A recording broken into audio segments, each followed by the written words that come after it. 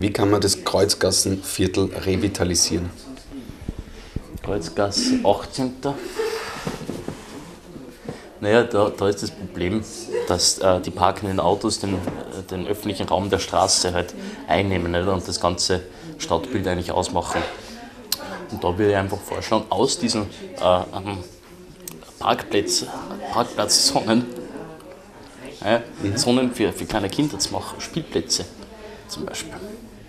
Ganz Oder Abenteuer ähm, äh, in die Länge gezogen. Ne? Mhm. Wurscht zum Beispiel. Es gibt da für Kinder dieses ähm, dieses Ding, wo man sich so mit einer Diane hinschwingen kann zum Beispiel, das bietet sich an, kann man machen,